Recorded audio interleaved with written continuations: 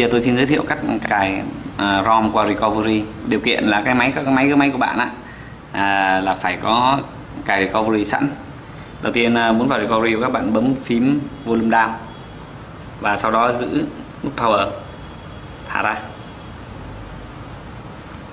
Máy sẽ à, nhảy vào fast boot. Thì uh, bạn sẽ dùng cái phím volume up down này để chọn vào recovery và bấm power bên trên máy trên máy để nhảy vào. Recovery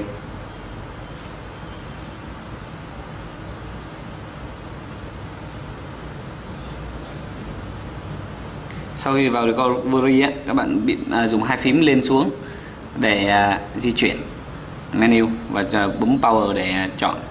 Đầu tiên các bạn chọn Wide Data Factory Reset để xóa hết các cái dữ liệu ở trong máy. Để trước khi cài cả bản bản ROM mới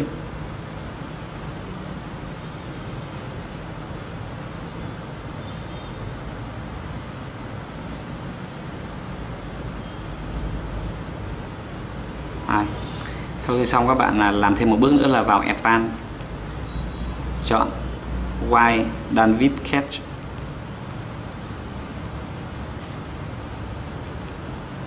Sau khi xong, các bạn go back và chọn install from install zip from the SDK chọn choose zip from SDK và các bạn chọn bản ROM. Như đây mình sẽ dùng MIUI version là à, mới nhất. Và các bạn chỉ cần bấm install. Bản ROM này à, tương đối nhẹ chỉ có 8 MB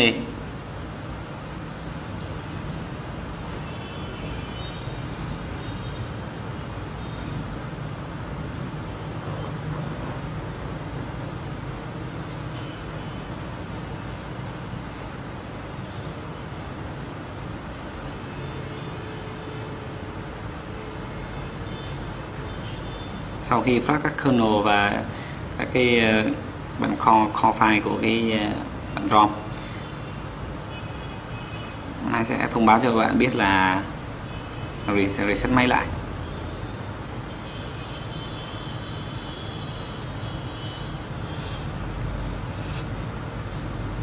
Rồi xong.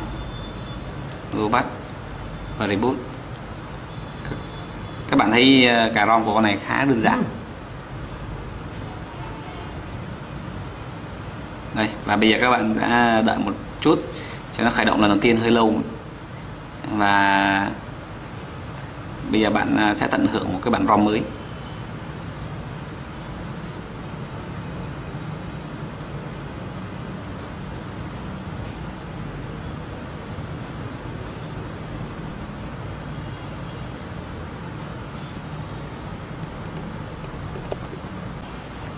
Và đây tôi xin giới thiệu bản ROM MIUI cho HTC Design HD. Đây là màn hình chính. Và đây là cái ờ, launcher của nó. Các bạn thấy ờ, cái kiểu dáng á, à, thiết kế của cái launcher này giống như iPhone với các cái icon rất là bự. Nhưng ở đây à, các bạn thấy thì nó có khả năng à, thay đổi các cái kiểu à, launcher. Ví dụ như đây. Bạn thấy à, kiểu khác nhau. Các bạn có thể ép được các cái ờ, chẳng hạn như là SO widget hay là Đấy, bỏ vô. Các bạn là bỏ music hay là photo.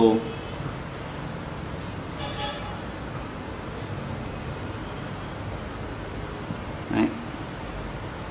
khá đẹp à, kéo từ trên xuống thì các bạn có thấy toggle này là có thể tắt uh, wifi uh, bluetooth GPS, wifi bluetooth GPS hay là tắt chuông hay là tắt data rất thoải mái. Còn đây là notification. Về mặt tin nhắn. Kể cả tin nhắn này à, cái menu này các bạn có thể chỉnh được các cái thêm khác nhau. À, ví dụ như mình edit thêm. Uh, message thêm.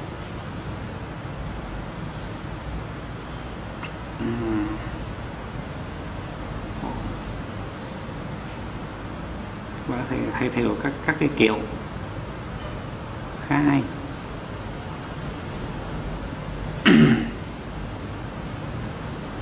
Đây là sau khi tắt màn hình bật màn hình.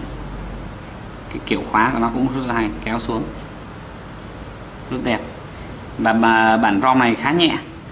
À, nếu ai có um, yêu cầu để xài uh, kiểu dáng đẹp hay là tiện dụng thì uh, và cũng không cần uh, cái kiểu giá như là HTC Sen thì các bạn thể sử dụng à, cái bản ROM này.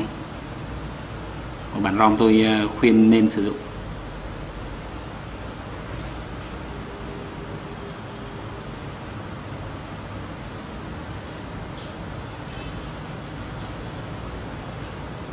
Rồi, xin cảm ơn.